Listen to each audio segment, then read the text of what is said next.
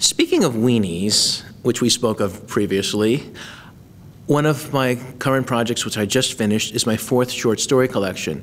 It has 35 more stories. Some of them are funny, some of them are scary. The title story is about two kids who get into an escalating war of pepper eating to see who can eat the hottest pepper. It ends badly, flames come out of body parts, and the story is called The Battle of the Red Hot Pepper Weenies.